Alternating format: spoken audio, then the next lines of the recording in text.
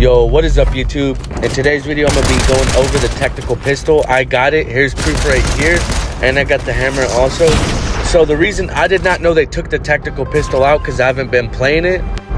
But I got it saved in my locker. So when I go in the game, I just go right up here and just load my um, loadout that I saved. And I said this loadout a while ago. I always use this pistol. It's a very overpowering pistol, so I recommend um, getting it.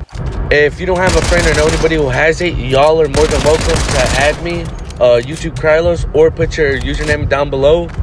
And what I'll do is I'll go into a game, load up the game, drop the pistol. You can pick it up and save it with your class.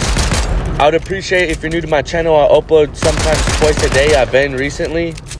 I'm trying to get to 15,000 subscribers by the end of this year, so I appreciate every single sub.